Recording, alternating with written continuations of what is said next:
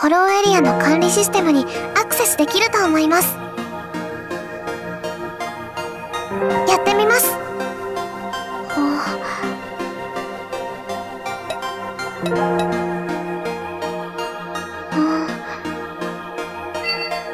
開きました。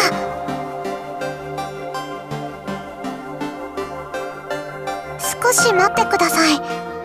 これはプレイヤーデータと重複チェックシークエンス。あ中でエラーが発生しています。はい。重複チェック中に想定外のエラーが発生したようです。ホ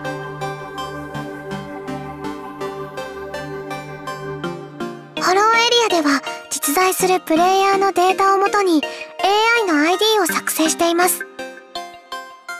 ただホローエリアには実在のプレイヤーとそのプレイヤーの AI が同時に存在しないように。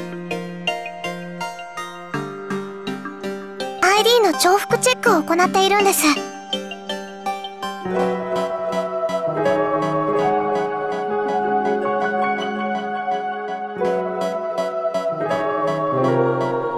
その通りですパパ。AI を優先的に削除する仕組みになっていますので。では同じプレイヤーが存在した瞬間 AI が同時にいることを NG と判断し ID を削除します。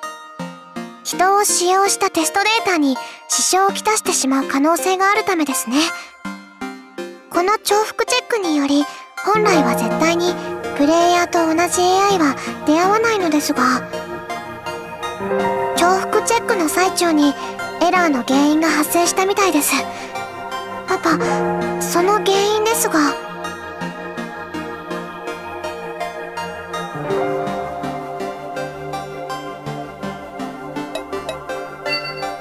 はいわかりました。これはフィリアさんです。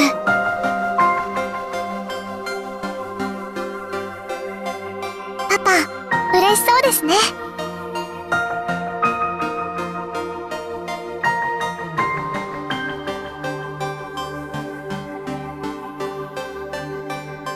そうです。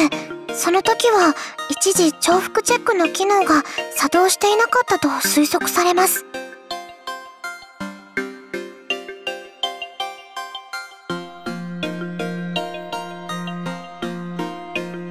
イレギュラーが重なり本来起こり得ない出来事がフィリアさんを特殊なステータスに変え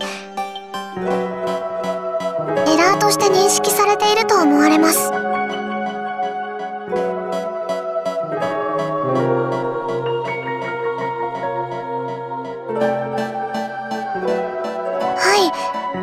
がこのコンソールではエラーを解除できません。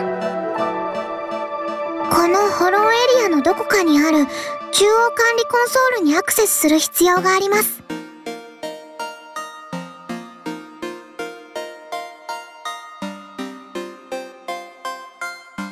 フィリアさんの行方についてですがもしかするとこの大空洞エリアにいるかもしれません。この大空洞エリアの中層とボスが配置されている部屋への扉に封印が施されていました。おそらくですがプーが封印を設置したのではないかと思います。は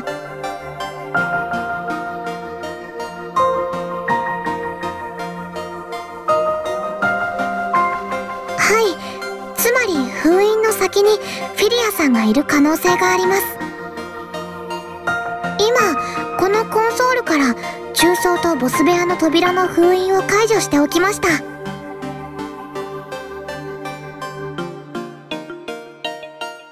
えパパに喜んでもらえて私も嬉しいです。また何かあれば聞いてください。